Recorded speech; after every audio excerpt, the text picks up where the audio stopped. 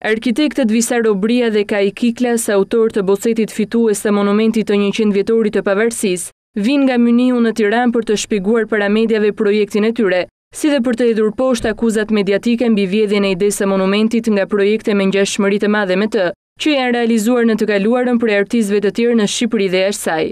Arkitekti gjerman Kai Kiklas shprehet se projekti i tyre është tërësisht origjinal dhe përmban një sërë elemente që e bëjnë unik. Sipas tij, në këtë projekt përjashtohet mundësia e çdo lloj ndikimi nga puna e artistit shqiptar Fatmir Velaj në Pogradec, apo nga vepra e skulptorit minimalist me famë ndërkombëtare Rikardo Serra, ndonëse veprat mes tyre kanë një shkallë të lartë ngjashmërie. Kemi dëgjuar se në mediat shqiptare është përfolur se një artist ka krijuar diçka të ngjashme me projektin tonë. Ju siguroj se ne nuk kemi patur asnjë kontakt me këtë artist dhe gjithashtu nuk njohim asnjë nga veprat e tij. Si material bazë për këtë konstruksion, zgjodhëm çelikun në anën e jashtme dhe vendosjen e paneleve të bronzit, të cilat me përthyrjen e tyre nga brenda dhe nga jashtë krijojnë imazhin e një piramide dhe japin forma të ndryshme këtij objekti nëse shihen nga këndvështrime të ndryshme.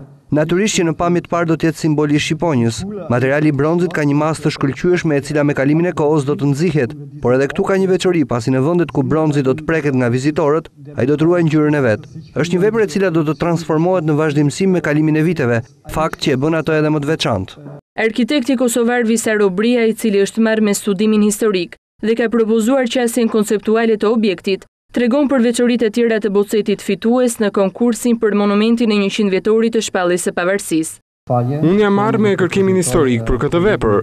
Duke qenë se vetë vij nga Kosova, por edhe në Shqipëri kam udhëtuar shpesh, u fokusuam më tepër tek kulla, e cila ka shërbyer si objekt i mbrojtjes së shqiptarit. por edhe i izolimit të tij. Vetë projekti përbëhet nga dy trupa që përfaqësojnë një kullë të hapur të rrotulluar. Trupi me çati simbolizon kullën fillestare nga e cila rrotullohet trupi i dytë. Nëse vizitori do të qëndrojë në këtë pjesë të monumentit, mbulesa do t'i krijojë idenë e shtypjes dhe ndjesinë e izolimit. Trupi i dytë me dysheme simbolizon pavarësinë dhe themelin mbi të cilin është ngritur liria. Në faqen e brendshme të trupit të parë është projektuar Deklarata e Pavarësisë, Ndërsa në trupin e dytë është konceptuar shqiponja, si simbol i shtetit të ri të pavarur e të mëvetësishëm. Në tërësi ky monument nuk është vetëm shenjë e një kujtimi, por shërben edhe si tërheqje e vëmendjes se liria dhe pavarësia duhen ruajtur dhe duhet punuar më tepër për këto të dyja.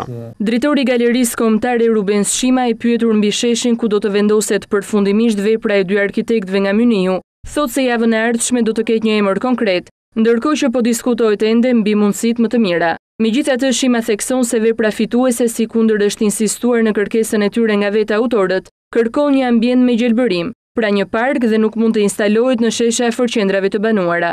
Burime të besueshme tregojnë se dy janë vendet në qendër të cilat plotësojnë kushtet. E para mundësi për vendosjen e monumentit është hapësira e blertë tek Parku Rinia përballë ish-Hotel Dajtit, Ndërkohë që zgjidhja tjetër mund të jetë parku i vogël përballë Ministrisë së Ekonomisë dhe Teatrit Kombëtar të Kukullave, në krah të Bankës së Shqipërisë.